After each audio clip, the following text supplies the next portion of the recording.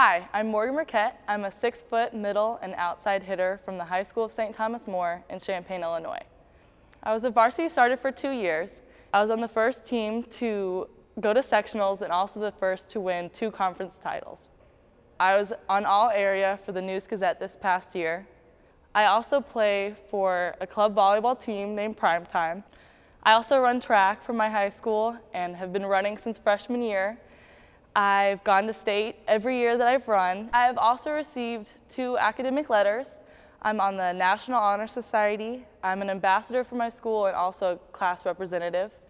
I currently have a weighted GPA of 4.3 out of 4. I look forward to hearing from you. My email address is moemoeb77 at aol.com. Thank you for your time.